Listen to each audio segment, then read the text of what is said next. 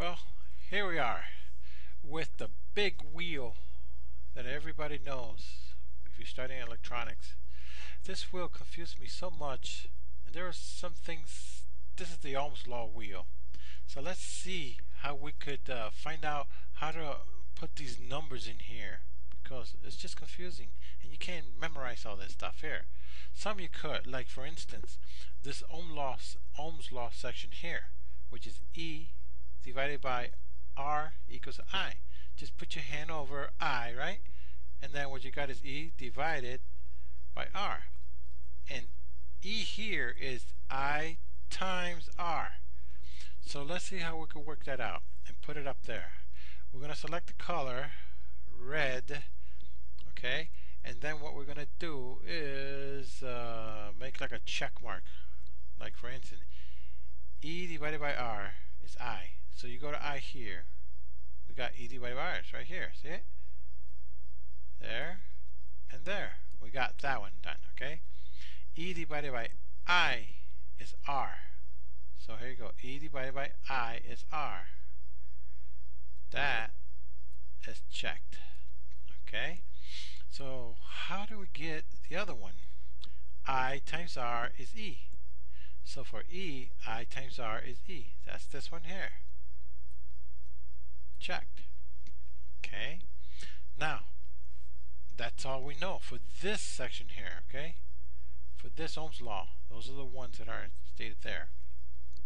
Now, you also should memorize this one here, which is P-I-E, pi. Easy to remember. So, here we go. Pi, power, okay, is I times E. So let's go to I times E with power. See right here? Checked. Okay. And uh, also, P divided by I is E. Remember, power divided by current is voltage, which here you got the electromotive force, electromagnetic force going through there, okay? P divided by I is E. Let's get that one. P divided by I is E. See it? P divided by I is E. We got it here. Checked. Okay, we continue. P divided by E is I. P divided by E is I. See it there at about 2 o'clock? Bang, bang. We found that one. Okie dokie. We already got the I times E. Boom, double check. P divided by I. It's E. We got that one. And P divided by E is I. P divided by E is I. We all got check. You notice 1, 2, 3, 4, 5, 6. 1, 2, 3, 4, 5, 6. Now we'll go to the next one. So how in the world did I get these right here? These numbers here, this other, this other one. You know these right here from Ohm's law, but these are also from not just ohms, it's called joules. He's the guy that came up with this right here. Okay? The formula, like I squared times R is power, he came up with that. So everybody's giving credit to ohms, which he came up with this one here. Okay? Now let's continue. How do we get that?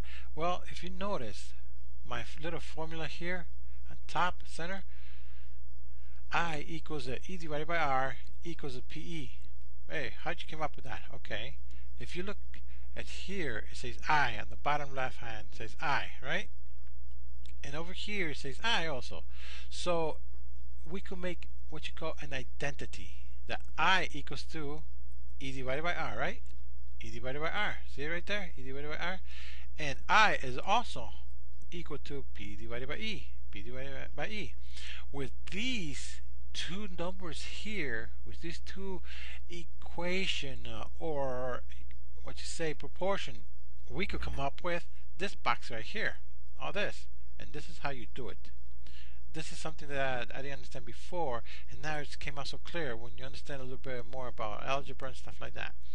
Okay, this is simple math. Okay, here we go. How we came up with e squared divided by p is r and e squared divided by r is p. This is how we do it. Since we already, now you know how we we done this one here on top by these numbers, we say that, you see this E, the cross multiply, this times that, see it? E times E is E square, right? Like E times E is E square. That you should know. And that equals to R times P. They should be equal. So that should equal, this ratio here is equal to this ratio here. And that's equal to I. So what we want to find out is what R is. Let's let's say find R. Like E squared divided by P. See it? E is right here, and E, that makes it E squared. See it? Cross multiply. E squared divided by this one here gives you this one here, which is R. E squared divided by P is R. And E squared di divided by P is R, and E squared divided by R is P. See it? Crisscross? That's how you get this nice uh, like Ohm's law chart here, like this graph, okay? And you know the rules already that this times this has got to be multiplied. And see the x I here put in there? Some people make it with a line straight downward. And then this becomes like a divide here. See it? E divided by R is I. And we'll put some numbers later on so that way you can see it. Very simple, okay? Okay, we continue here. This is how I got I. Now you're going to get E you look in these two here, this one and this one, you see E up here, right? See it on that chart? And you see E down here. So E means is equal to what? So E here is I times R, right? You see it? I, okay? I times R, see it right here? I times R. E is equal to I times R. Okay, what is E equal to in, in another place here? See it right here? E P divided by I is equal to P divided by I equals to E. And it's the same thing. P divided by R is equal to I times R. So now we could use this here, the equation for E, to make this here. See it? The P up here, P up here. And I put it in this format so that way you could see it understand it. I, it's here, and IR is here. They're crisscross, but who cares? You can put them on either side but as long as you got the set properly.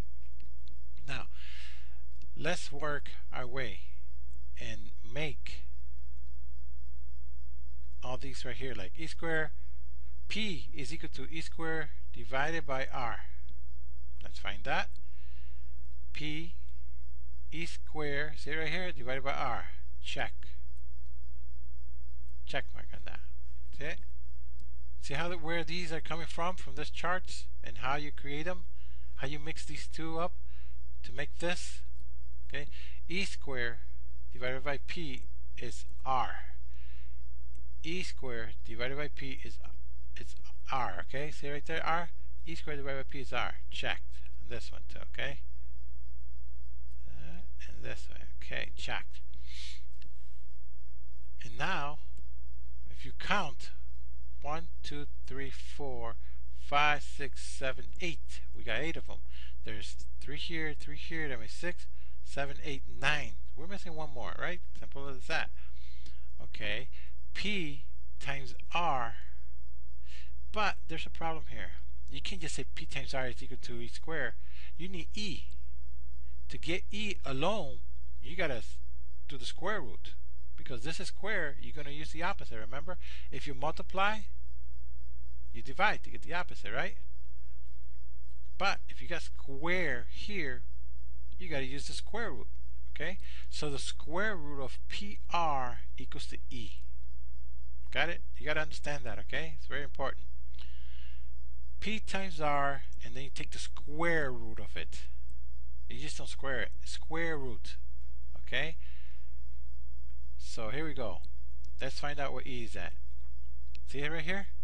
P times R, and you take the square root, since you've got square up there, you take the square root, the opposite, to get this right here. Here goes another check mark. Okay, now we continue. See, there goes 1, 2, 3, 4, 5, One, two, three, four. We need more, okay? because you got 3 plus 3 and plus 3, okay? So that should be 9.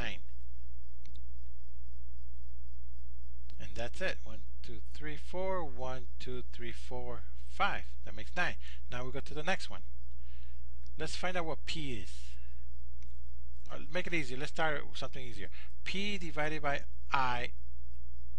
Duh, it's IR. Can't use that one. You don't want to put it like that in there. So you go P divided. Okay, let's see.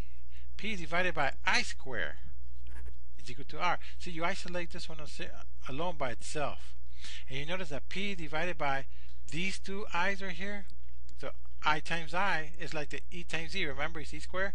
Here is I times I, which comes P divided by I square is this number here, R. So that's why you got here P divided by I square equals to R. Checked. Okay, we got that puppy right there. And all we need is just about two more. Okay, and th those are these two up here. So I squared times R. What's I squared? Remember this? I and I is I squared, right? And times R gives you this right here, right? There you go. I squared times R. Check that one. And we all all we got is one more to do. It's P divided by E. Which we skipped before which was I. P divided by E is I. Duh. How could I miss that? and so easy, right? So that we've done already before, but you must understand the procedure of the divide here and then multiply this way. Okay? We got the last and not the least, which is P divided by R and take the square root of that, okay? P divided by R it's going to be i square. See it right there? But you just want one i, so you got to take the square root of it. Got it? P divided by r is i times i. So what you got to do is take the square root of that. P divided by r square root. And you see it right here, P divided by r is square root. And that, the last one there, should work. It's just like for the circuit circuit right here this circuit is the E is for electromagnetic force, which is measuring voltage. R is for resistance, measure, measure in ohms. P is for power, the dissipation power from the resistor here that is heating up like crazy, and you want to know what the power is. You don't want to burn the, the uh, resistor or any other component. So you find what it is in wattage. Then you find the current going through it, which is in amperes, A, with a meter there. And that's what all these are. And this is what it gives us. This is the table that we should memorize. And by memorizing these two formulas right here, you could get these. Just practice a little and it should be fine. This is Luis Diaz and just write some comment and uh, hope to help you. It would help me if I was an electronic technician, which I graduated as a technician, but these are the little things that you need a little push on to understand how to come up with things like this. All right, cool.